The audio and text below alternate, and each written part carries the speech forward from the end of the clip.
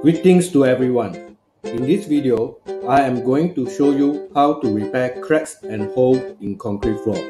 These are pit holes, usually found on concrete floor after metal bond diamond grinding. The material we need for concrete repair are adhesive agent and Portland cement.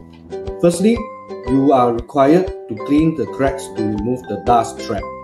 Next, we shall apply the adhesive agent along the cracks.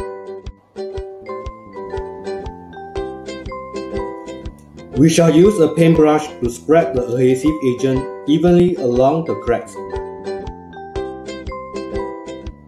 Then, we will fill the cracks with Portland cement. At the same time, we shall ensure the cracks are fully filled with Portland cement mixing with the adhesive agent.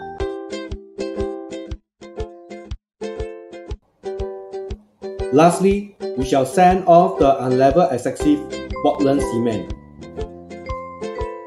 We will leave the Portland cement fuse to be dried and cured for about 4 hours to 12 hours before metal bond diamond grinding at grit 120.